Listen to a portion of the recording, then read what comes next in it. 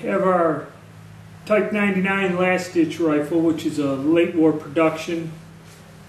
And it's basically got a rougher stock, rougher finish, and uh, a simplified rear sight, which is just a peep sight with no uh, ladder or wing adjustment or anything. Just identical to the other one. And the only other thing is if you see the front sight, the little protecting ears aren't there. You know, I can still drift this rifle. And the overall finishing that is, is a little bit more on the rugged side. And this bore is not chrome line. My other gun has a chrome line bore. And again, we use just a standard Hornady full metal jacket, 174 grain uh, bullet, which is about 311 thousandths uh, diameter which uh, the bore on this rifle, like the other one, slugs about 315. So your accuracy isn't going to get that uh, good. When I was shooting this and ma making little videos, uh, I didn't have someone operate the camera and the range was crowded. So uh, I shot the other rifle first and didn't get on the paper at 100 yards. So I said, I'd give this one a whirl and I went down and I only shot five rounds with it. Uh, the second round I got on the paper, figured out where I was, and adjusted the sights for it.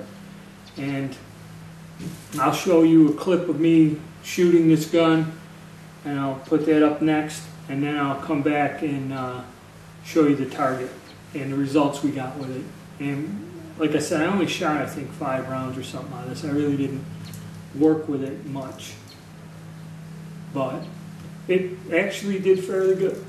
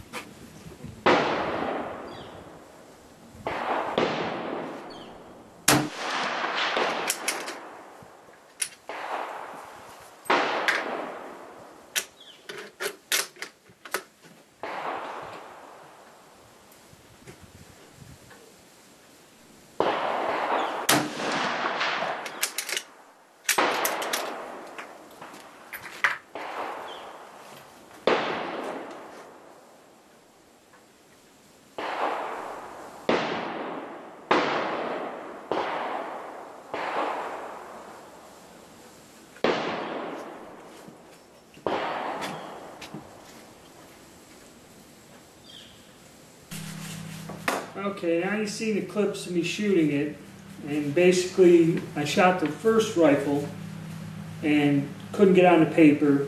Went to this one here, and I shot a couple rounds, and what happened was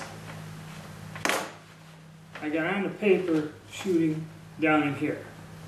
So now I had an idea, I was to the right and low, so I was aiming up around in here, and I got a couple up here. One when my first shot was way high up here, and then I said, okay, I came down, adjusted here.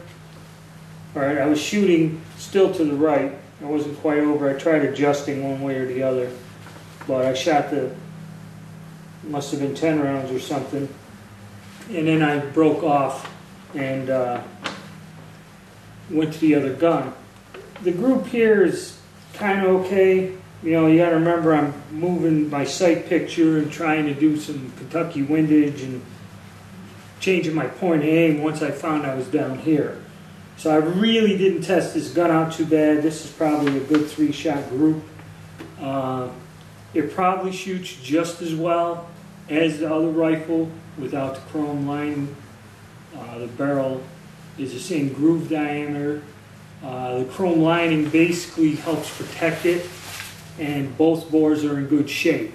Even one without the chrome lining is, is in good shape. It's not pitted or rusted in any way. So probably once I develop, or like I said, I'm going to try to get a bullet of a bigger diameter to come closer to the bore diameter of these guns. And then I'm going to go back to the drawing board and try to draw some accuracy out and, you know, really get on the paper good, get some good results. Okay,